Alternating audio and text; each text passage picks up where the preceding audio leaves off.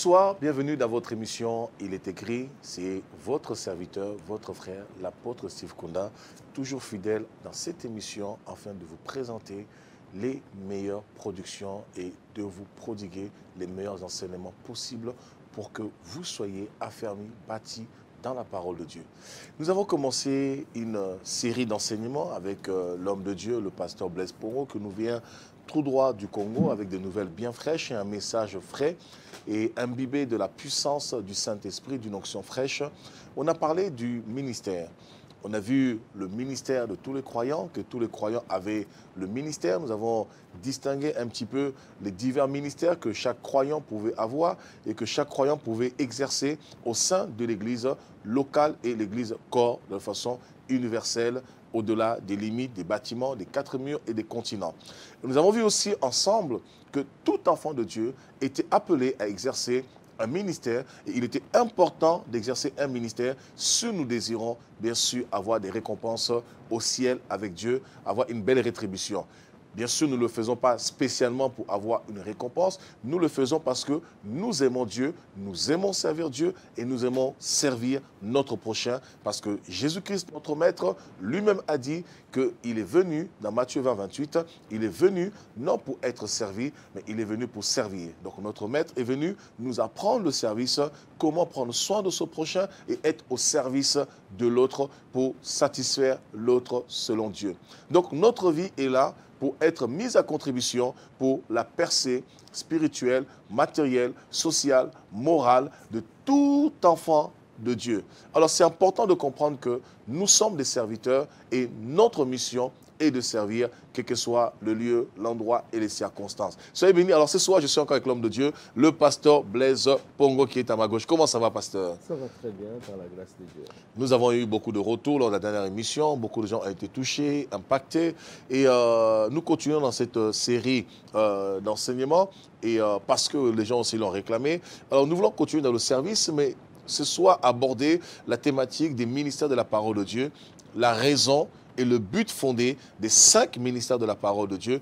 Pourquoi ces ministères existent, pourquoi ils sont dedans, quels sont leurs rôles exactement, leur mission au sein du corps du Christ. En tout cas, je suis euh, une fois de plus euh, content d'être là. La dernière émission, ça m'a fait beaucoup la joie. Je me suis moi-même, euh, j'ai été moi-même Surpris. voilà, c'était très bien. Et aujourd'hui, je vais à ce que nous puissions continuer dans euh, le même rythme. Donc, euh, je crois que le Seigneur a quelque chose euh, de spécial et je bénis le Seigneur pour ces beaux cadres. C'est vrai que de loin, je, je suis, je ne savais pas ce qui s'est passé derrière les coulisses, mais aujourd'hui, j'ai été vraiment surpris depuis la fois passée. voilà, c'est vraiment un grand travail. Euh, que vous faites dans l'humilité, dans le silence total. Et je bénis le Seigneur pour ce que vous faites pour l'édification du corps de Christ. Et aujourd'hui, nous allons parler sur le ministère. Maintenant, le ministère de la parole, je crois que ça va chauffer. De la parole. voilà, soyez prêts. Il a dit ça va chauffer. Alors déjà, la fois dernière, sur le ministère de tous les saints, vous avez pu voir vous-même comment ça chauffait. Il m'a même collé une énigme, des équations. Je n'arrive même pas à y répondre. Alors que dans l'église, tout le monde peut servir et en même temps, tout le monde ne peut pas servir parce qu'il y a le blé, il y a livré. Et même temps, livre aussi peut servir, mais il n'est pas le blé, il n'est pas appelé. C'était compliqué pour moi, mais par la grâce de Dieu, parce qu'il a vraiment cette grâce-là limpide d'expliquer les choses. Alors, mon esprit a été éclairci, mon entendement s'est ouvert, et je le crois, vous aussi, vous avez été grandement édifiés, parce que vous avez été nombreux à répondre, et c'est pourquoi ce soir nous sommes là. Et je pense que dans l'introduction, Pasteur Blaise, tu as dit quelque chose de merveilleux en disant qu'étant sur ce plateau, euh, voyant les missions euh, de loin, parce que quand on voit au loin, on ne sait pas forcément ce qui se passe à l'intérieur, parce qu'on n'est pas en interne, et quand on est en externe, on se pose beaucoup de questions. Mais eh je pense aussi que cette émission, la structure, cette télévision, répond aussi à notre émission de la fois dernière lorsque nous parlons du service du ministère, mettre le don au service des autres. Eh bien, cette émission et cette télévision, OETV, eh est aussi un service manuel, un service manuel, mais qui répond aux besoins de l'évangile parce que ça permet que bah, tous ceux qui sont dans leur maison, ben, grâce aux cadreurs, aux caméramans qui sont ici, ils ont des bonnes images. Grâce au plateau, on a un très bon décor. Grâce aux ingénieurs du son, on a un bon son. Et grâce à la réalisation, on a une bonne diffusion. Et les gens sont édifiés, sont encouragés. Mais tout ça ne relève pas du spirituel. Ce sont des dons, des talents manuels que Dieu donne. C'est comme dans une armée. Quand vous euh, regardez la structure d'une armée, d'une armée, vous allez voir que quand on parle armée, on voit directement les soldats. Les soldats. Mais en réalité, ce n'est pas ça. Tout à fait. Il y a des soldats qui n'iront jamais au front. Tout à fait. Ils sont vraiment là euh, dans l'administration. Si. Euh, ils sont dans d'autres choses. On peut- Aujourd'hui, on a des, des soldats journalistes, on a des soldats. Mais vous allez vous rendre compte, vous posez la question, mais comment il est soldat, il est journaliste, qu'est-ce qui se passe? C'est ça une C'est un corps. C'est-à-dire, c'est un corps. Et dans un corps, tout le monde n'est pas au Tout le monde. plan. Mm. C'est-à-dire, il y a ceux qui sont derrière, il y a même ceux qui sont dans les coulisses, il y a même ceux qui ne se feront pas voir. Et très souvent, lorsque Dieu élève une personne, les gens voient seulement la personne, La personne. qui est élevée dans le ministère, mais on ne se rend pas compte que derrière cette personne-là, Il y a d'abord sa femme Mm. qui fait un grand travail, et puis il y a des gens qui sont incontournables. Tout à fait. Aujourd'hui, nous avons des gens euh, dans nos ministères. S'il n'est pas là, tu sens vraiment qu'il Il y a quelque vide. chose, un vide. Mm. Mais on lui connaîtra jamais. Jamais. Mais Dieu lui connaît et Dieu lui récompensera. Tout à fait. Donc, euh, euh, voyant ce qui se passe dans ces plateaux, je dis grand merci au Seigneur parce que en fait, il y a vraiment le service qui est en train de se faire de façon professionnelle. Mm. Hein, J'ai j'ai béni Dieu pour euh, euh, même à la RTNC, là où je passe à la chaîne nationale, il y a des choses que je ne vois pas, je vois ici. Donc, euh, déjà le maquillage, euh, tout, tout, tout, tout. Je dis, oh waouh, c'est- vraiment c'est un grand service et j'encourage tous ces frères de continuer comme ça parce que cette télévision est appelée à grandir Amen. et être une télévision au service du corps. C'est-à-dire ici, nous ne sommes pas là pour euh, nous positionner, ceci, cela. Ici, nous voulons nourrir le, Le corps, peuple. tout à et fait. déjà avec la vision que vous avez d'ouvrir cette télévision à tous les serviteurs de Dieu, en tout cas, coup de chapeau, que Dieu vous bénisse. Amen, que Dieu soit béni. Ben, le message est lancé. Vous êtes pasteur, vous êtes un ministre de Dieu, c'est-à-dire euh, vous avez un ministère de la parole, prophète, docteur, évangéliste, pasteur, prophète. Cette télévision est faite pour vous. Venez apporter vos messages gratuitement, totalement gratuitement. Écrivez simplement à contact oetv.fr et l'équipe média, les journalistes prendront rendez-vous avec vous pour venir tourner les meilleures émissions sur le plateau de sur le plutôt sur euh, euh, la chaîne OETV dans divers plateaux que cette chaîne contient des émissions telles qu'exhortation, parole d'impact et pourquoi pas aussi cette émission même avec moi il est écrit. Donc, et vous êtes aussi chantre, pareil, venez exposer votre talent. Vous êtes artiste chrétien, c'est-à-dire dans l'art. Quand je parle de l'art, euh, la danse, le dessin, euh, toutes ces choses, euh, venez, écrivez à contact.oetv.fr. Vous avez un témoignage par rapport à ce que Dieu a fait dans votre vie, une guérison, une délivrance, un changement, une transformation, une conversion venez apporter votre témoignage, et vous allez tourner gratuitement. Tout ceci se fait dans les studios OETV parce que OETV, c'est une télévision avec 150 mètres carrés de plateaux et de studios plutôt et plusieurs plateaux pour diverses émissions afin de répondre au mieux et euh, la parole de Dieu et aussi de vous proposer les meilleures émissions de qualité. Soyez bénis, n'hésitez pas, OETV est faite pour vous. C'est la télévision au service du corps et au service de l'évangile. Alors, pasteur, ce soir, nous allons parler des ministères de la parole de Dieu que nous trouvons dans Éphésiens chapitre 4, verset 11. Qui sont ces ministères de la parole de Dieu? Alors, la Bible dit dans Éphésiens au chapitre euh, euh, 4, à partir du verset euh, 11, on peut, vous, vous pouvez lire euh, même, je peux lire même à partir du verset euh, euh, 6, la Bible dit Un seul Dieu et Père euh, de tous, qui est au-dessus de tous et parmi tous et en tous. Mm. Verset 7. Mais à chacun de nous, la grâce a été donnée selon la mesure du don de Christ. Verset 8, c'est pourquoi il est dit Étant monté en haut, il a émené des captifs et il a fait des dons aux hommes. Verset 9. Or, que signifie il est monté sinon qu'il est aussi descendu dans les régions inférieures de la terre?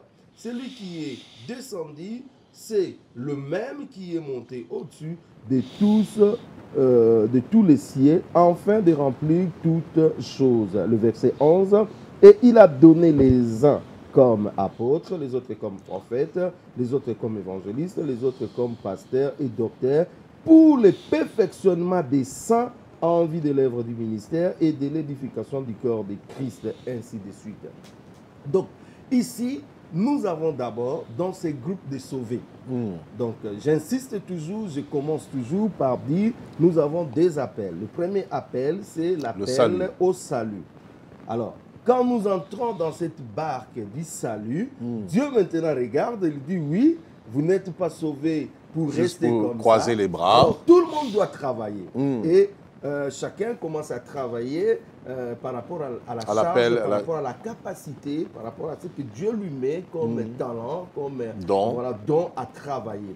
Et parmi ces gens-là, Dieu, il choisit. Il dit non, il y a à bâtir les corps, à édifier les Le corps. corps. Et pour édifier les corps, ce n'est pas tout le monde qui va faire le travail. Il y a des personnes bien spécifiques que moi-même, je dois choisir et qualifier afin qu'ils bâtissent Le euh, corps. le corps. Et le corps n'est pas bâti par l'argent d'abord, le corps n'est pas bâti par l'intelligence, le corps est bâti par la parole. Mm. Cela veut dire, ces gens que Dieu va choisir pour bâtir, ce sont des gens qui sont qualifiés pour la parole, pour l'enseignement. C'est pour cela que je dis toujours, un ministre de Dieu qui ne sait pas enseigner, il n'est pas un ministre. Parce que le premier rôle d'un ministre de Dieu, c'est l'édification du, Du corps, corps. c'est-à-dire enseigner. Aujourd'hui, c'est surprenant. J'ai entendu beaucoup de gens qui disent Moi, je ne sais pas prêcher, moi, je sais seulement faire des miracles. C'est grave. Moi, je ne sais pas prêcher, moi, je sais seulement prophétiser. Qui dit ça? dans mon pays Des pasteurs. des pasteurs. Il dit, ben, moi, les histoires de doctrine, là, ce n'est pas mon affaire. Moi, c'est guérir les gens. Moi, c'est euh, prophétiser. Moi, c'est... Mais non, non, non, Donc c'est plutôt un don ou c'est un ministre don de la parole? C'est-à-dire, c'est un don de miracle parce que euh, je pense que c'est là où on doit éclaircir les choses. Parce que quand on va dans 1 Corinthiens chapitre 12, on nous dit euh, c'est le même esprit qui opère avec une diversité de dons. Il a donné à un autre le don d'opérer des miracles, etc. etc. Alors, quand quelqu'un dit moi je ne sais pas prêcher, je ne sais pas enseigner, moi c'est des miracles, c'est-à-dire cette personne-là a juste le don de miracle ou cette personne parle en tant que pasteur, ministère, don. Bon, en tout cas, euh, sur ce point-là, il y a beaucoup de choses qu'on peut cerner. D'abord, ça peut être qu'il est mal enseigné lui-même, il a été mal enseigné. Euh, et en plus de cela, ce qu'il peut transmettre, c'est ce qu'il lui avait réussi. Donc, il a été mal enseigné et il va continuer à transmettre des La même chose. Ça, c'est la première des choses. La deuxième des choses, ça peut être aussi quelqu'un qui ne veut pas s'investir dans la parole. Parce que la parole de Dieu, bien qu'il y a les côtés révélation que Dieu nous révèle, mais il y a aussi ces côtés où nous, travail nous personnel. devons travailler la parole de Dieu. Comment expliquer quelqu'un qui ne veut pas méditer la parole de Dieu? Comment expliquer quelqu'un qui tourne sa Bible en hasard et puis qui tombe sur un verset et dit que c'est ça la volonté de Dieu pour prêcher? Il n'y a pas des enseignements euh, Précis, concis. euh, conçus, tout, tout, tout. Ça pose problème. Mm. Vous voyez, il y a aussi d'autres personnes qui sont tellement orgueillées qui ne veulent pas rester à côté des autres pour apprendre. Dans l'apprentissage, il y a plusieurs canaux. Mais, mais comment ces personnes qui ne veulent pas rester à côté des autres peuvent-ils devenir pasteurs? Puisque on ne peut pas devenir euh, pasteur comme ça si on n'a pas été à côté de quelqu'un. Je pense que dans, la, dans le, script, le script de la Bible, Mm. après c'est vrai, il y a des autodidactes, des personnes que Dieu a appelées tout seul dans la caverne, dans une grotte ou dans, sur une montagne, mais dans le principe biblique, euh, hormis les apôtres, hein, les apôtres et puis l'histoire de, de, de Paul aussi en parlait, quoique ça a été confirmé quand même, mais parce que Paul a été enseigné par Anania, on ne peut pas quand même devenir pasteur, docteur, évangéliste, apôtre comme ça, surtout dans notre génération, comme ça, par, euh, Déjà, par la magie du il Saint-Esprit. faut comprendre, par exemple, Paul dit, c'est que moi je vous ai enseigné, il faut que vous soyez capable de l'enseigner à d'autres personnes. En fait, la culture de la parole. Il y a une continuité. Il y a une continuité. Moi, je vous enseigne. Vous devez enseignez. reproduire fidèlement aux autres. C'est comme ça que la parole de Dieu a tenu jusqu'à Demeure. aujourd'hui. Tout à fait. Mais nous avons aujourd'hui des gens qui s'improvisent pasteurs. C'est-à-dire, euh, aujourd'hui, le pasteur, c'est un bon métier. hein, ça donne, il y a des appels de fonds, il y a ceci, cela. Il suffit seulement que voilà, le peuple qui est aussi aveuglé voit un petit miracle, voit euh, quelque chose comme ça. On court derrière. Vous voyez, aujourd'hui, nous avons tous ces magiciens, tous ces charlatans qui étaient dans le monde. euh, Et ça ne marche plus vraiment. Comme avant. Et, et voilà, ils font euh, un bascule vers euh, la parole de Dieu. Ils s'improvisent, pasteur, Mm. mais ils n'ont pas la parole. J'aimerais même faciliter la tâche à ceux qui vont nous suivre à Mm. la maison. Le premier signe qui atteste que c'est un faux pasteur, c'est qu'il n'a pas des enseignements. Un faux pasteur n'a pas d'enseignement. Un faux ministère n'a pas d'enseignement. Il va le recevoir comment? Mais il ne peut pas avoir. vous lui donnez la Bible comme ça, vous sentez, il, il, il- ballotte, il, il, Il va à gauche, à il va à droite. gauche, à droite, il ne comprend rien. C'est-à-dire, il, n'est pas ministère. Parce que je dis que vous soyez apôtre, prophète, Docteur, docteur, évangéliste, pasteur, pasteur. évangéliste, à la base, tous nous enseignons. C'est-à-dire, nous avons euh, une mesure d'enseignement. Après, chacun développe À sa euh, à spécificité. sa C'est un peu comme la médecine. Bien sûr. Il y a plusieurs docteurs. Ouais. Il y a le docteur en gynécologie, il y a Mhm. le docteur généraliste, il y a docteur en estomatologie, en, etc. etc. Mhm. Mais à la base, euh, tout le monde s'est prélevé la Tout le monde s'est prélevé la tension. Voilà. Le. Alors, c'est fait. c'est aussi ça la parole de Dieu. Et la Bible précise, il dit que ces gens sont là pour le perfectionnement des saints. Ils ne sont pas là pour rançonner les peuples, ils ne sont pas là pour détruire les peuples, ils sont là pour le perfectionnement. Le ministère n'apporte pas la confusion. Le ministère construit. C'est pour cela Paul dit, il a bâti, il a posé des fondements comme, Comme un sage sage architecte. architecte. Et il nous met en garde, nous qui allons venir, que chacun veille à la manière dont il bâtit. Donc, c'est cet édifice que nous sommes en train de bâtir. Chacun doit le bâtir à la manière des apôtres. Et les apôtres l'ont bâti avec une parole originale, que je parle, parole vraie, Vrai. l'évangile véritable. Mm. Et si aujourd'hui nous voulons suivre le pas des apôtres, cela veut dire nous devons bâtir aussi hein, selon la parole des apôtres. C'est-à-dire si vous n'avez pas cette continuité, et ça ne peut pas marcher. Donc, vous voyez ici que Dieu va prendre dans ces groupes de sauvés, il prend des gens, il leur donne comme un don Hmm. Pour ses, ses enfants. Pour ses le, enfants, le- pour le- le bâtir le corps. ministère de la parole, ce sont des dons. Hmm. Ce sont des, des- des- Oui, ce sont des gens qui sont au milieu de nous, mais considérons ces gens comme des dons. Voilà Amen. pourquoi même la parole de Dieu nous dit, pour euh, des anciens qui dirigent bien, ainsi de suite, ils ont droit sont à jugés d'un double honneur. Hmm. Pourquoi? Parce qu'ils font un grand travail. Ce n'est pas un travail facile qu'ils font. Donc, nous, ce sont des dons que Dieu a donnés à l'Église. Mais maintenant, là où il y a le problème, Comment est-ce que ces gens deviennent des ministres? Hmm. Ce n'est pas que euh, tu te lèves euh, le matin, tu dis, Eh ben, moi aujourd'hui, je deviens pasteur. Non, non, non, non, non, non. Ça ne se passe pas comme ça. Il y a des gens qui se sont invités, et même dans le ministère, et ils ne seront pas récompensés. Ils ne seront pas, ils sont pas pris en compte. C'est comme, euh, c'est comme vous avez une conférence ou bien vous avez une réunion, vous avez lancé des invitations, et puis un monsieur s'amène comme ça, il ne sera pas pris en compte. Mm. Vous voyez, c'est- le genre de ministre que nous avons aujourd'hui. Et je mets une parenthèse.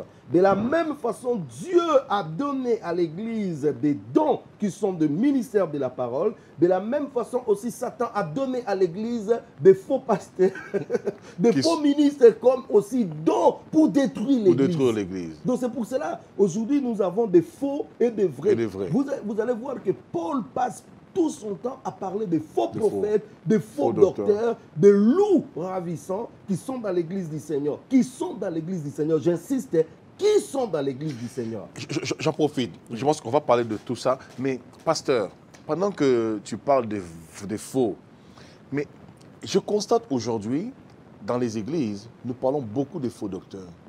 Nous parlons beaucoup de faux pasteurs, mais nous parlons très peu des vrais.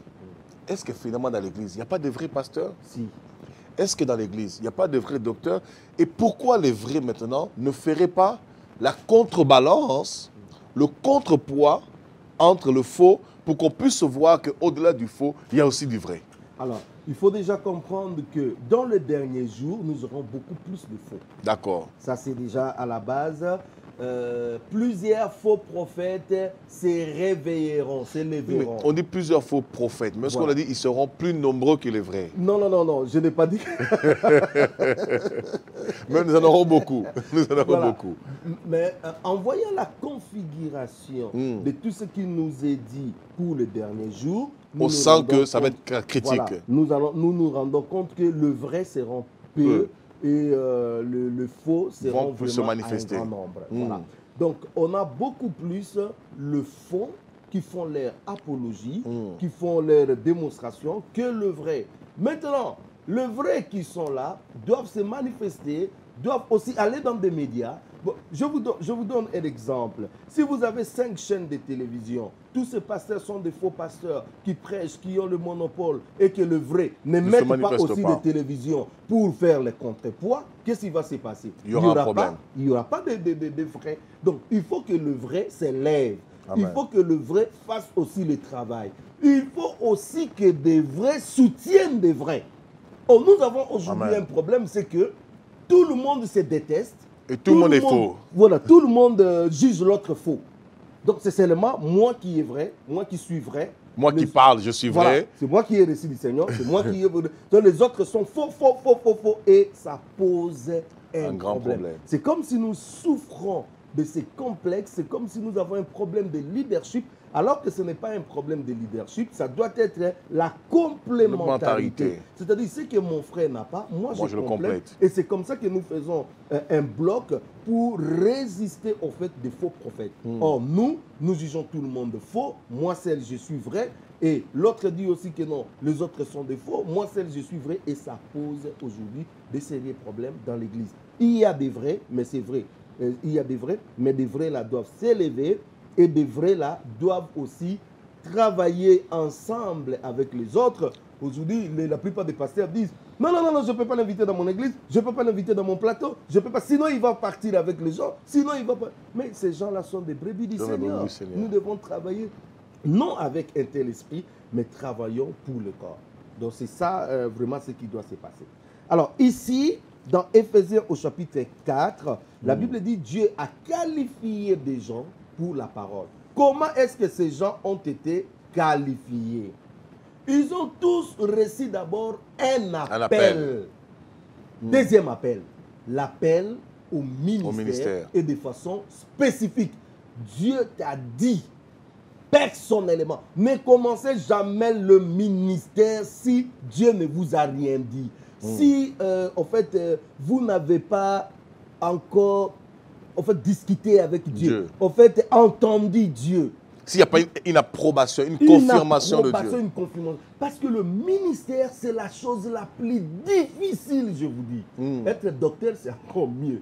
Être euh, ingénieur, c'est Docteur encore dans le monde, bien, Dans le dans le monde, séculier. hein. Séculier. Séculier. Être euh, professeur, c'est bien. Être euh, ceci, cela, un homme d'affaires, c'est bien. Mais être un ministre de la parole, un ministre qui a en charge les âmes, c'est quelque chose de très difficile. Les gens voient le ministère de loin, ils croient que le ministère, c'est se promener entre les avions, ils croient que le ministère, c'est porter une veste, venir devant les gens, commencer à parler. C'est ce le que les gens ministère, pensent. c'est bien. C'est- plus grand que ça. Le ministère, c'est quelque chose euh, de très complexe. Le ministère, c'est un combat. Tu es comme un soldat qui est en avant-garde. Mm. Tu es au front. Tu es en confrontation directe avec le diable. C'est-à-dire, vous vous disputez le portion du, du, royaume. et- C'est-à-dire, vous devez avancer avec votre ministère parce qu'à chaque fois que votre ministère s'élève, le, le, diable aussi se recule. lève. Le diable est en train de, de perdre des âmes. Vous Et en même temps, il vous rend service aussi. ah ben, il vous rend service. Au même moment, il vous combat. Au même moment, il vous met des coques à jambes. Donc, si vous n'avez pas été appelé de Dieu, vous pouvez. C'est pour cela aujourd'hui, vous avez des gens qui disent que non, je démissionne. Tout à il était pasteur, il a démissionné. Mais comprenez que quand on devient pasteur, on ne démissionne pas. Quand on devient apôtre, on ne démissionne pas. C'est quelque chose qui est toute la vie. Amen. Donc, c'est que vous n'avez pas été appelé. Parce qu'il y a des fois des coups que nous recevons. Pourquoi, pourquoi des pasteurs aujourd'hui euh, se suicident? On voit une prolifération des pasteurs qui font des AVC. On voit une prolifération des pasteurs qui se suicident. Il n'y a pas longtemps, un pasteur aux États-Unis qui a une très grande église, il s'est tiré une balle, il s'est suicidé. Des pasteurs qui font la dépression, des pasteurs qui se suicident, des pasteurs qui disent qu'à moi, j'arrête le ministère, j'en peux plus, j'en ai marre, euh, je, dépose euh, la clé.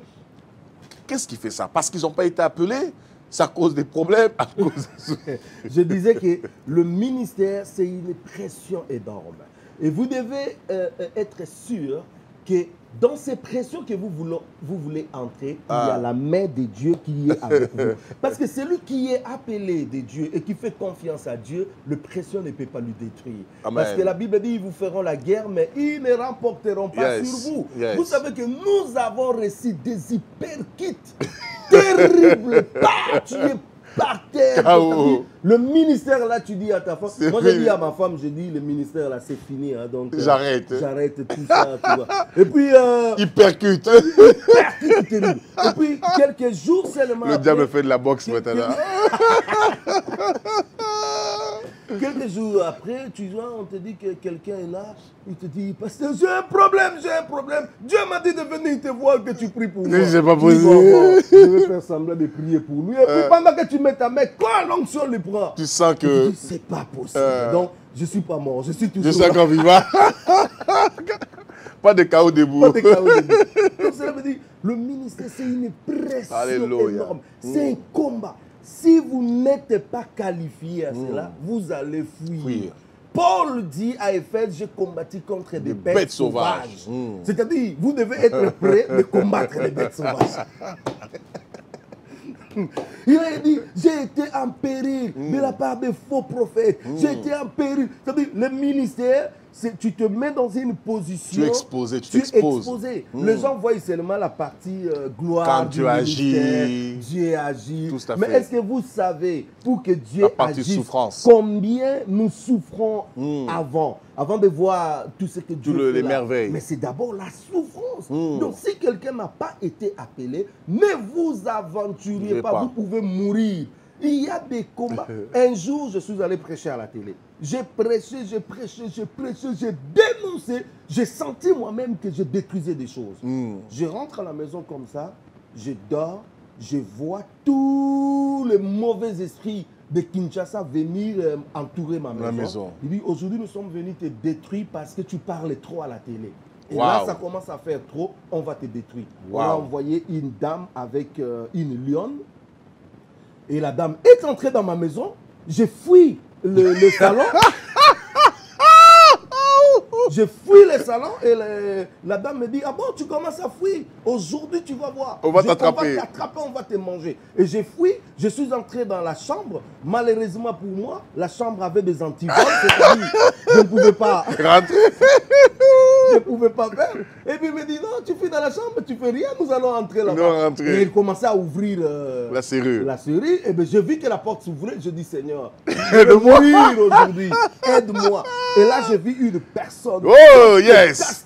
Yes. habillé en blanc. Mm. Il est venu, il a tiré les antivols. Il dit Petit, viens, on va faire une petite promenade. Alléluia. Il m'a porté et puis je me suis échappé. Amen. Vous voyez, ça veut dire, si vous n'êtes pas appelé, on va te bouffer. Mm. Les sorciers bouffent des pasteurs qui n'ont pas été appelés. Il y a deux catégories de pasteurs que les sorciers peuvent bouffer. Mm. Un, des Oh. pasteurs qui n'ont pas été appelés.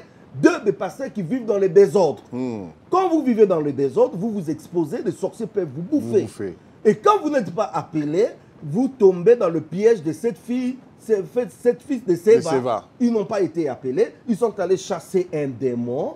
Et les le démons démon les ont rouillés des coups. Mm. Vous voyez, ça veut dire quand vous n'êtes pas appelé, vous vous exposez. C'est pour cela qu'il faut toujours, en tant que ministre, comprendre est-ce que c'est Dieu Qui m'a appelé, appelé ou c'est pas Dieu mon appel? appelé Prenez votre temps d'attendre. Mm. Je dis toujours aux gens, ne soyez pas pressés. Mais aujourd'hui, nous avons des gens qui sont, qui sont pressés. à peine ils ont le micro, à peine aujourd'hui. Avec, vous savez, euh, tu sais, pasteur, avec euh, la prolifération des réseaux sociaux, avec Mm. YouTube, avec Facebook, aujourd'hui tout le monde peut devenir son propre pasteur. Parce qu'avec Facebook, on peut avoir un auditoire. C'est-à-dire, euh, même un chien qui allume seulement Facebook, les gens se connectent. Vous voyez un petit peu. Donc ça devient un auditoire et euh, inconsciemment, chacun devient pasteur avec Facebook, ses réseaux sociaux. Et les gens après, le fait qu'ils donnent un message, une exhortation, une instruction, une parole, et que les gens appuient derrière, automatiquement, ils prennent le vêtement, le manteau pastoral. Est-ce que c'est normal? C'est pas normal. Je suis contre tous les pasteurs qui n'ont pas des églises, mais qui se font église sur le Facebook, sur le WhatsApp, sur les réseaux sociaux. C'est pas correct. C'est pas correct. Mais pourquoi ils diront c'est un moyen Oui, c'est Paul un a dit moyen. dans 1 Timothée 4, verset 1, en toute occasion, Mm. favorable ou non favorable, prêche la parole, insiste, censure. Non, il n'y a pas de problème. Ce sont des moyens pour que nous puissions véhiculer l'évangile. Mm.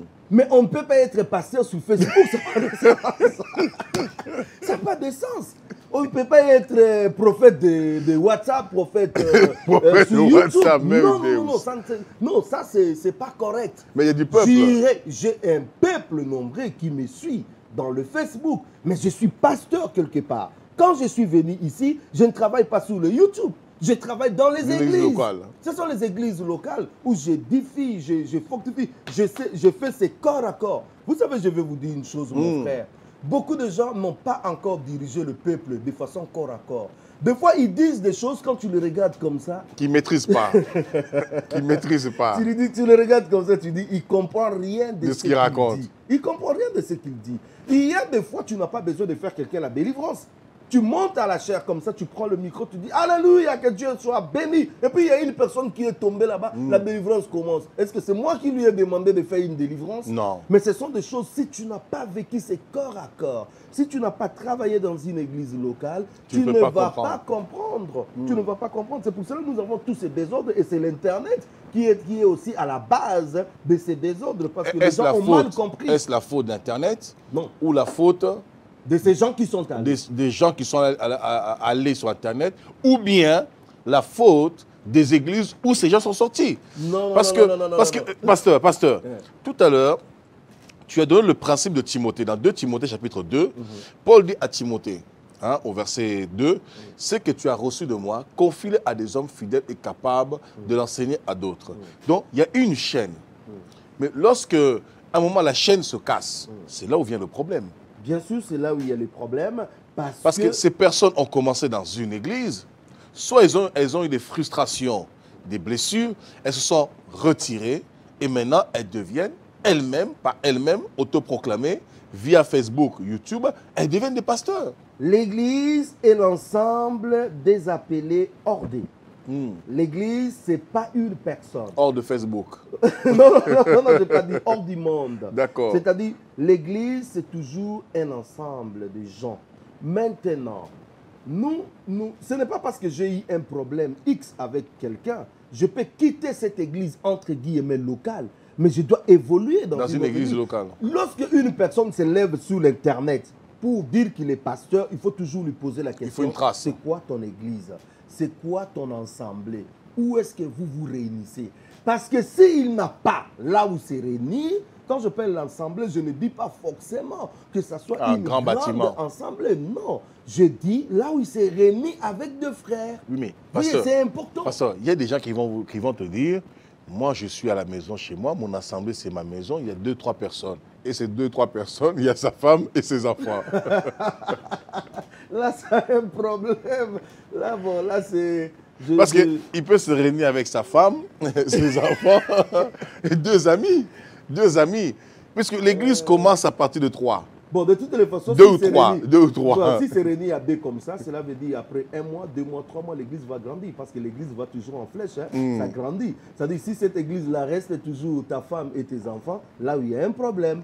Là où il y a un problème. Et puis tu vas voir une personne comme ça porte le nom d'apôtre, porte le nom du prophète, il prophétise où, il est apôtre où? Mais je, je- je vais venir là. Hmm. Tous ces titres que les gens ont maintenant, parce que, à mon avis, ce sont des charges hein, que le Seigneur nous donne. Nous donne. Mais nous, aujourd'hui, nous en avons fait des titres. Des titres. On croit que quand on dit apôtre, euh, c'est quelque chose. Non, on- n'est pas apôtre par rapport au titre. titre. On est apôtre Par par, rapport au service, à la charge, au travail que vous faites.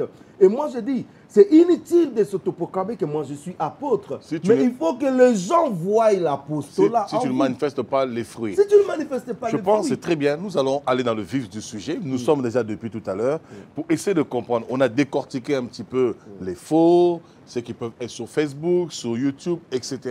Maintenant, à la lumière de la parole, ceux qui sont appelés véritablement aux cinq ministères, on l'a si bien lu tout à l'heure dans Ephésiens 4, au verset 6 à 13, euh, tu as fait la lecture. Quel est leur rôle leur fonctionnement dans l'Église? C'est édifier, c'est paître, c'est encourager.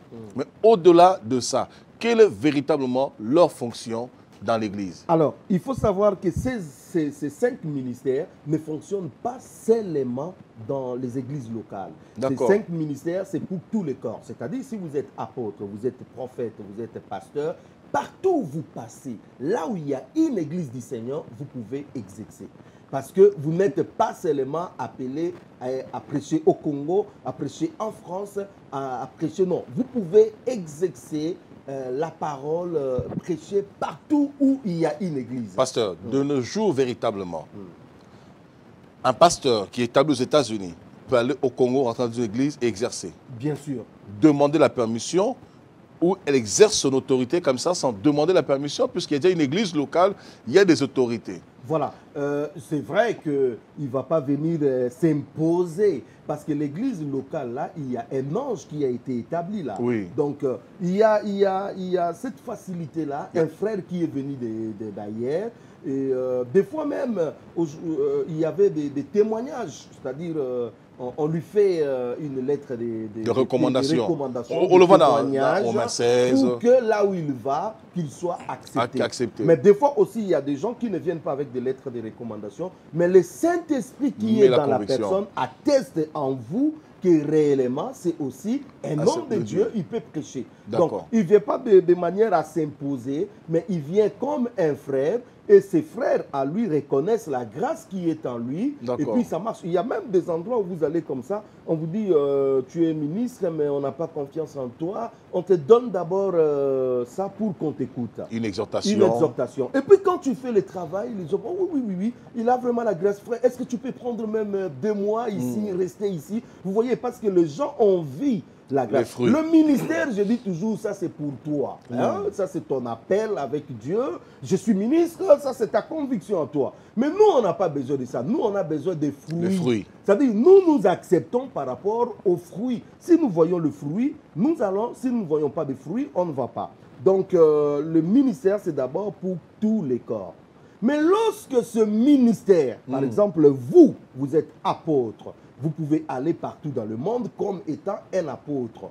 Mais si vous exercez dans cette église locale, vous devenez automatiquement aussi ancien. Ancien et pasteur de l'église locale. Voilà, c'est pour cela que vous voyez euh, dans 1 Pierre chapitre 5, je crois sous le verset 1, Pierre dit, je vous exhorte, moi Ancien ancien comme comme, eux. eux. C'est-à-dire, dans l'église de Jérusalem, Pierre était ancien. Mais il était aussi Apôtre. apôtre. Vous voyez? Donc, quand nous exerçons au sein d'une église Locale. locale, nous devenons anciens. Et comme nous sommes anciens dans une église locale, nous sommes aussi régis par le critère des anciens. Cela veut dire nous devons être mariés d'une seule femme. Nous devons être euh, pas livrés au vin. Nous devons... euh, voilà, tout Ah, ça. mais pasteur, là, vous êtes en train de toucher aux choses sensibles. Parce que aujourd'hui, Mm. si je comprends bien, si un ministère est établi dans l'église locale, la- le ministère est régi selon le code des anciens dans 1 Timothée 3. Bien sûr. Les anciens, les diacres. Mm. Euh, bon, plus ancien que diacre, parce que c'est plus ancien que diacre. Donc, il doit être marié d'une seule femme. Mais nous avons. Et donc, s'il n'est pas dans l'église locale, là, par contre, il est libre de faire ce qu'il veut. Non, non, non, non. Je ne dis pas ça parce que déjà, quand il est... euh, euh, C'est-à-dire, euh, qu'il soit marié, qu'il ne soit pas marié, c'est pas grave. Parce que dans l'église locale, la Bible est claire. Il faut qu'il soit le mari d'une seule femme. Mhm. Mais quand on nous dit aujourd'hui, nous avons des prophètes qui prophétisent, qui prêchent la parole de Dieu, qui sont ministres de la parole de Dieu. Nous avons des apôtres, nous avons des pasteurs, mais qui ne sont pas mariés d'une seule femme. Il y en a qui sont polygames et il y en a qui sont divorcés, même divorcés deux fois, trois fois, quatre fois. Toi, en tant que pasteur établi dans le corps, quelle est ta vision par rapport à ça? Parce que si tu nous parles, si tu nous dis aujourd'hui, parce que c'est très important, nous avons beaucoup de personnes qui nous suivent dans le monde entier, pasteur, c'est très important. On ne stigmatise pas quelqu'un, nous, nous, parlons, nous devons prêcher la parole de Dieu, enseigner pour nous-mêmes d'abord nous libérer, aussi tous ceux qui nous suivent. Nous sommes dans un temps de confusion, tu l'as dit si toi-même, parce que le diable aussi envoie ces faux pasteurs, ces faux apôtres qui rentrent sournoisement des fausses doctrines. Et aussi tout à l'heure, toi-même tu as dit, il faut que les vrais parlent. Et la Bible dit dans Proverbe, parce que les justes se taisent, les méchants se multiplient à croix. Donc, c'est important aussi que nous puissions euh, parler, non pas parce que nous sommes plus justes que les autres, mais parce que nous avons certaines connaissances que d'autres ne connaissent pas forcément. Il y a une complémentarité. Alors, qu'est-ce qu'on peut dire aujourd'hui des pasteurs qui sont ministres de la parole, déjà qui ne respectent même pas le premier critère, c'est-à-dire ils ne sont pas dans le critère de voyager partout dans le monde, mais qui sont dans le critère d'une église locale. Ils sont apôtres, prophètes, docteurs, évangélistes, mais ils travaillent dans l'église locale, mais qui sont mariés et divorcés. Est-ce que ces personnes respectent ce critère-là? Alors, il faut dire que d'abord, euh, euh, le fait que nous avons déformé, aussi la parole de Dieu, nous avons mis les accents sur mon église. Euh, ça, c'est l'église de notre communauté. Vous voyez, ça a des barrières pour que des pasteurs ne circulent pas et qu'ils édifient à l'air euh, grâce qu'ils ont le peuple de Dieu. Donc, lorsque- C'est-à-dire il y a déjà des barrières qui disent que non, nous on est des évangéliques, nous ne voulons pas nous associer avec les réveils, nous ne voulons pas nous associer. Il y a toutes ces barrières-là. Aujourd'hui même, quand vous arrivez dans une ville, vous voulez euh, euh, exercer votre ministère, et, et les églises là ne vont, vont vous dire que non, non, non, tu n'es pas de notre communauté. tu Voilà déjà n'es des pas de notre fédération Voilà, même. fédération. Donc déjà, nous avons mis des barrières pour ne pas permettre vraiment aux vrais enfants de Dieu d'exercer De se leur développer. ministère. De deux, si euh, vous, vous arrivez dans une ville et qu'on ne vous cède pas la chair, mais vous pouvez exercer dans la rue, prêcher la parole de Dieu dans la rue, faites un corps à corps. Vous allez sans doute trouver toujours des enfants de Dieu. Aujourd'hui, c'est facile avec la communication, tout, tout, tout. Vous allez toujours trouver. Moi, quand je voyage, même si je prêche un groupe de gens seulement, ce n'est pas un problème. L'essentiel est que je fais le ministère pour le corps. Vous voyez? Alors, Dieu a mis un, mé- un mécanisme. Écoutez bien. Dieu savait que le ministère, c'est lui qui donne. Et que la personne va répondre de son ministère à lui et à lui seul. Parce que la personne qui va juger notre ministère, c'est Dieu. C'est Dieu. La personne qui peut nous arracher le ministère, c'est Dieu. Dieu. La personne qui nous a donné le ministère, c'est Dieu. Les autres ne font que constater, c'est-à-dire, oui, tu as un ministère de la parole, nous voyons le fruit et nous reconnaissons ce ministère. Et Dieu a mis un mécanisme. Ce ministère, au même moment, ça doit nager partout dans le monde. Hein, nager partout dans le monde. Ce ministère va travailler partout dans le monde. Mais Dieu, pour mettre un peu de mécanismes de contrôle, il veut à ce que ce ministère travaille aussi dans une église locale. Et c'est dans cette église locale qu'on contrôle le ministère. Vous voyez, les gens qui ont des ministères, qui, même Paul, quand il allait, il allait y retourner quelque part. Soit il va se baser à Antioche, soit il rentre à, À Jérusalem. Corinthe Pourquoi il rentrait à Jérusalem rendre des comptes Des comptes il rend des comptes là-bas. Il dit pas que non, moi j'ai été déjà ministre, euh, je suis libre maintenant. Il retourne à Jérusalem et on lui pose des questions, il répond, il, il étale sa vision des choses et les autres comprennent et ils voient qu'est-ce Ils qu'ils doivent faire. pas. Et aujourd'hui, nous avons des ministères qui ne veulent pas se faire contrôler. Ben, les gens sont devenus des boss pour eux-mêmes. Ben, voilà, ça c'est un autre problème, ce n'est pas bien. C'est pour cela, nous, nous faisons, même euh, aujourd'hui, comme, comme Dieu nous élève, nous, nous, nous, au fait, nous, nous, nous, nous nous mettons dans une dynamique de contrôle les uns les autres. Nous travaillons les uns les autres. C'est important. C'est-à-dire, je peux parler carrément à mon frère, ce que je pense, et ainsi de suite. On crée une sorte, euh, pour ne pas tomber dans l'erreur d'être De beaucoup, incontrôlé. tout à fait. C'est-à-dire, je vais faire quelque chose, j'appelle mon frère Kunda, j'appelle mon frère tel, j'appelle, j'essaye un peu Qu'est-ce que tu penses de cette tu vision que penses, Dieu m'a qu'est-ce que- donnée On essaie de m'arrêter. Mm. On essaye, euh, si j'ai un problème, j'appelle les autres, ils peuvent me dire non, non, non, tu peux pas. Là, c'est pas bon. C'est pas bon. C'est dans ce sens-là. Donc, on se met dans une dynamique où on peut euh, être contrôlé. Mm. Mais comme vous exercez dans cette église locale, Local. c'est là où on doit vous contrôler, comme un ancien. Mm. Est-ce que l'apôtre Kunda est digne de la vocation? Mm. Il est digne d'exercer. De, d'exercer. On regarde votre vie. Maintenant, il se donne euh, au vin. Ah ben non, vous ne pouvez pas exercer. Et si l'église locale refuse à ce que vous exercez, cela veut dire que le corps aussi refuse. Vous voyez C'est-à-dire, si l'église locale accepte que vous exercez, hmm. cela veut dire automatiquement le corps, aussi, doit accepter. accepte. Hmm. Parce que vous ne pouvez pas avoir des problèmes dans l'église locale et puis vous allez exercer, ça ne marche pas. Mais il y a des gens, justement, euh, je, suis vraiment euh, désolé parce que euh, je vais faire un petit mélange un petit peu rétrospectif. Hmm. Il y a des gens, aussi comme dans l'église locale, où ils ne respectent pas, ils quittent dans la rébellion, mais ils vont travailler dans d'autres églises, mais qui ne sont pas forcément pasteurs. Mm. Là, c'est vrai que nous parlons plus des ministères de la parole de Dieu, mm. mais nous avons ce type de cas, des personnes qui sont dans l'église locale, par exemple, euh, ils sont assis ou ils sont sous euh, discipline, et ils ne veulent pas être sous discipline, ils se retirent et ils vont ailleurs. Et quand ils vont ailleurs, ben, ils se recommandent eux-mêmes. Et puis le pasteur qui est sur place ne cherche pas à savoir euh, d'où vient la personne. Et puis d'un seul coup, on laisse la personne travailler, des fois même reconnaître la personne pasteur. J'ai appris quelque chose qui m'a très grandement choqué. Il y a 3-4 mois de cela, un pasteur m'a appelé et puis il m'a dit, euh, écoute, je traverse quelque chose de compliqué. J'ai les personnes qui sont ici à l'église avec moi, qui sont responsables, l'évangélisation, etc. Mais ce qui est bizarre, ils sont chez moi responsables d'évangélisation, mais dans une autre église, ils sont pasteurs. là, là, c'est un désordre. Là, c'est vraiment un désordre. c'est une vérité. Il dit, ils sont chez moi responsables d'évangélisation, responsables du protocole, etc. Mais dans une autre église, ils sont pasteurs. Et il me dit, comment cela s'est passé? Ils ont été invités à un séminaire et quand ils ont été invités à ce séminaire-là, le pasteur les a reçus et le pasteur les a consacrés. Le pasteur a vu qu'ils étaient pasteurs, il les a consacrés pasteurs. Et dès ce moment, à chaque fois qu'ils finissent le culte ici, ils vont prier avec l'autre pasteur. Ça, c'est un des autres. Comment ça s'est fait euh, la reconnaissance? La reconnaissance, c'est le ministère que Dieu a donné à quelqu'un commence à exercer. Peut-être même la personne ne se rend même pas compte qu'il a un ministère. C'est comme l'histoire de Samuel avec Élie. Élie.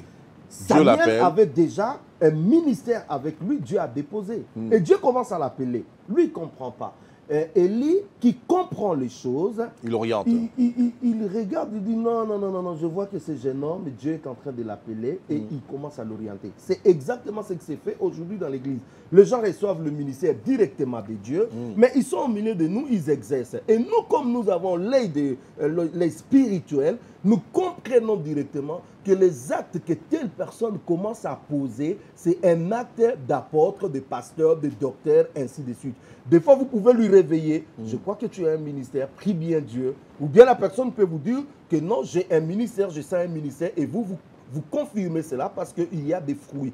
Et vous allez laisser ces fruits mûrir. Parce qu'il y a un problème aujourd'hui.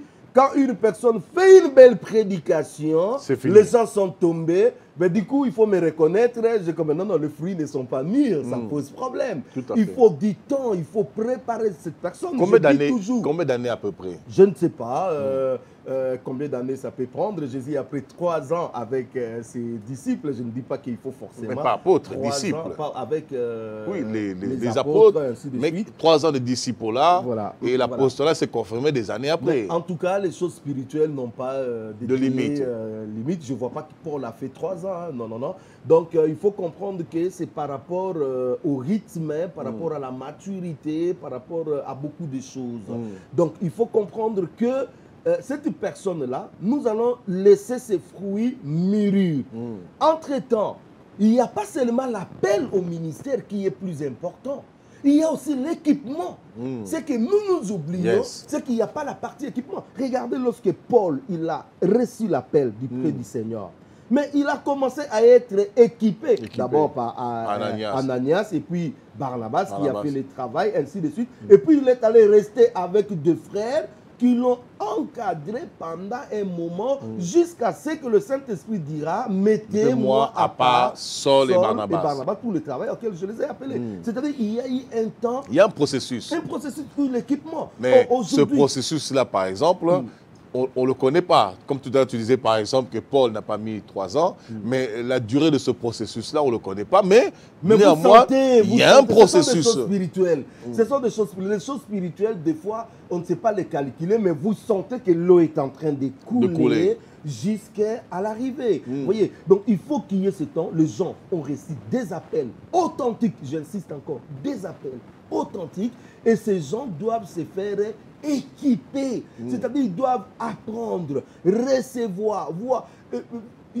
Sur ces points-là, il ne faut pas aller vite, il faut apprendre. Prendre le temps. Moi, il y a beaucoup de choses que j'ai appris de la part de ceux qui m'ont encadré. Amen. J'ai appris des choses, co- co- comment, comment faire les services, comment prêcher. Euh, non, quand vous prêchez comme ça, attention, ne détruisez pas. Vous savez, il y a cet équilibre-là qu'on peut apprendre, Apprendre. qu'à côté des autres. Tout à fait. Et ce n'est qu'après que l'Église va maintenant reconnaître le ministère. C'est-à-dire l'Église approuve. L'Église dit maintenant, oui, ce que Dieu t'a donné, nous, nous pouvons maintenant l'approuver. On reconnaît le ministère et la personne est lancée euh, dans son champ. Waouh, nous arrivons à la fin de cette émission. C'est tellement passionnant. Euh, nous avons même dépassé. On n'a même pas cité le, c'était- comment on dit, le travail de chaque ministère. Je ne suis pas encore je, je pense que nous aurons une prochaine émission. C'était tellement passionnant. Je vous l'ai dit quand nous sommes avec le pasteur Blaise, le temps passe vite. Nous avons même débordé de 20 minutes. Et euh, vraiment, nous sommes très, très encouragés, très édifiés. Et je le crois chez vous-même, vous êtes très encouragés. J'avais une question à poser, pasteur Blaise, mais je crois que ce sera la prochaine émission. Ma question était, euh, qu'est-ce qui atteste vraiment, puisque au-delà du fait que la, personne elle-même ressent l'appel de Dieu, Dieu lui parle et est convaincu, mais qu'est-ce qui va attester cela aux yeux de tous? Mais je pense que tu l'as répondu quand même, c'est reconnaître les fruits. Reconnaître les vous fruits. avez par exemple le cas de Paul. Vous savez que Paul, lorsqu'il s'est converti, les autres étaient trop sceptiques envers lui parce que Mm. tout le monde savait que c'est lui qui persécutait l'Église. Jusqu'à ce que euh, on a fruits. trouvé un compromis que non, toi va chez le, le, Les le- païen, nous on va rester. Mais lorsqu'il est parti, il a fait un travail, les gens ont été convaincus, réellement il a été appelé. Eh bien, la seule façon qui peut mettre les gens d'accord avec vous, c'est le travail. Amen. Voilà, en tout cas, euh, soyez grandement bénis. Je pense que euh, vous tous qui êtes appelés par Dieu, apôtres, prophètes, docteurs, évangélistes, continuez à servir le Seigneur. Le ministère, ce n'est pas une tâche facile. Le ministère dont des hommes dont, le ministère de la parole de Dieu. Et comme a dit tout à l'heure le pasteur, c'est un ministère où on rencontre beaucoup de pression, beaucoup de combats, qui est même plus difficile que le travail manuel séculier qu'on peut avoir. Et toutefois, vous devez comprendre que si Dieu vous a appelé, laissez Dieu manifester son œuvre en vous, laissez les fruits mûrir en vous pour que vous rentrez pleinement dans l'appel de Dieu. Et Dieu vous a établi non seulement pour vous-même vous édifier, mais aussi par-dessus tout pour édifier le corps de Christ. Ce n'est pas l'Église qui est à votre service, mais c'est vous qui êtes au service de l'Église parce que Dieu vous a établi pour édifier l'Église. Le mot de la fin, pasteur, pour tous ceux qui nous regardent avant de rendre l'antenne. Je crois au ministère authentique que Dieu suscite et il continuera à susciter à travers le monde. Et je dis aux frères qui reçoivent ces ministères, laissez-vous encadrer, laissez-vous équiper et lorsque les fruits vont mûrir, lancez-vous dans le travail et faites bien votre ministère. Attachez-vous au ministère que le Seigneur vous a appelé parce que l'Église aujourd'hui a besoin de vrais hommes de Dieu, de vrais ministres du Seigneur. Ouais. Voilà, soyez bénis en tout cas. Mes salutations, mes encouragements à tous les ministres de Dieu qui travaillent durement pour voir le corps de Christ avancer, l'œuvre de Dieu avancer, qui travaillent de façon acharnée pour le salut des âmes. Que Dieu vous bénisse, que Dieu bénisse vos ministères, que Dieu bénisse vos vies, vos épouses, pour ceux qui sont mariés, qui vous soutiennent, qui vous fortifient, vos enfants, vos familles, vos enfants dans la foi.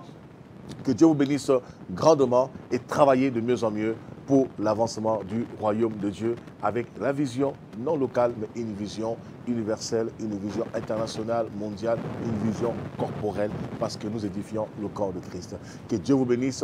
Merci, chères téléspectatrices, chers téléspectateurs. Merci de votre fidélité, d'être toujours devant vos écrans, à vos postes, pour suivre passionnément votre émission Il est écrit. Votre émission, il est écrit animé par moi-même. Je lance vraiment un appel. Nous avons besoin de vous, besoin de votre soutien dans la prière, besoin de vos finances pour encore avoir des émissions de qualité. Nous voulons agrandir la production, nous voulons agrandir nos émissions, nous voulons élargir euh, nos plateaux de télévision. Nous avons besoin de vous et aussi nous voulons salarier nos équipes parce que nous voulons diffuser 24 heures sur 24, 7 jours sur 7. Et pour faire ce travail, nous avons besoin d'avoir constamment du contenu. Donc, c'est-à-dire, nous avons besoin constamment d'avoir du personnel qui soit pratiquement tous les jours dans les studios pour les tournages, les montages et tout ce qui concerne l'audiovisuel afin de vous proposer des programmes de qualité. Soutenez OETV et le Seigneur vous bénira car cela sera aussi votre ministère dans le corps de Christ. À très bientôt pour une prochaine émission d'Il est écrit.